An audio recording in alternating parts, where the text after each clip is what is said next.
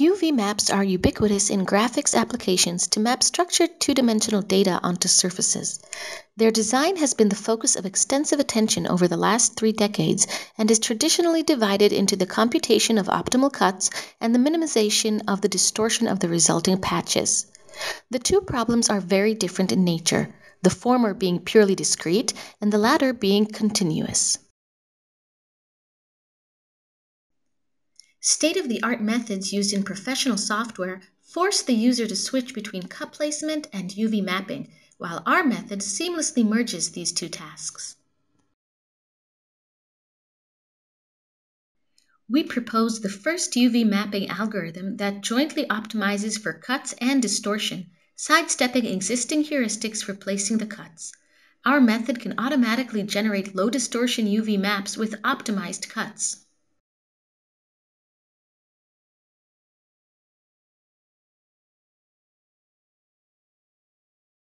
We built an interactive system that allows users to express their desiderata with minimal user interaction, using a combination of painting and picking edges.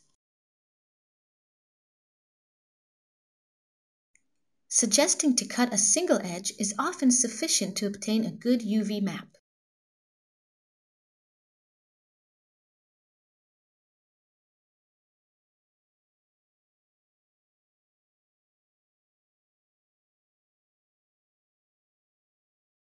Complex operations, such as separating the head of the teddy bear from its torso, can be achieved with a single dragging motion, letting our algorithm place the cuts such that the distortion is minimized.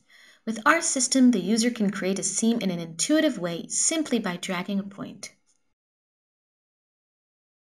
Bounding rectangles can be added to restrict the UV map and assist the packing in UV space. We show a few additional examples of our interactive system and how it is used to create high-quality UV maps.